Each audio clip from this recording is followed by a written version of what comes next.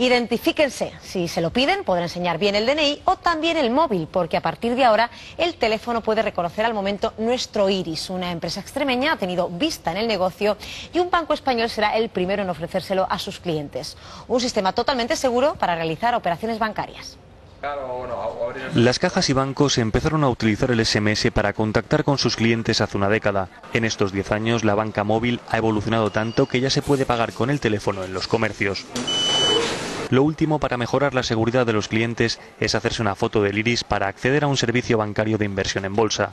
El programa informático identifica el iris y permite al usuario ejercer de broker. Para actualizar los valores de los mercados, solo hay que agitar el móvil. El objetivo es llevar toda la transacción y relación bancaria al móvil, para que el cliente pueda, el cliente pueda hacer todo desde, desde un teléfono móvil, desde darse de alta hasta consultar sus cuentas. Este método permite al cliente acceder desde cualquier rincón y es mucho más seguro que la clásica contraseña. Que hay una probabilidad de uno entre 12.000 millones de que existan dos iris iguales.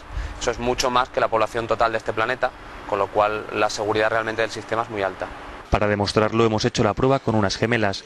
Las dos intentan entrar en un recinto, pero solo una de ellas está en la base de datos. El reconocimiento del iris se está utilizando para identificar a grupos numerosos lo más rápido posible. Este portal de seguridad es capaz de hacer una lectura de iris a unos dos metros de distancia y en movimiento.